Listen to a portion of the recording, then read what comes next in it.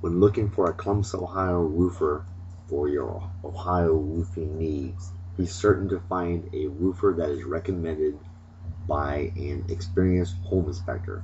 Home inspectors observe hundreds of roofs every year and they can give you great recommendations. Thanks and bye.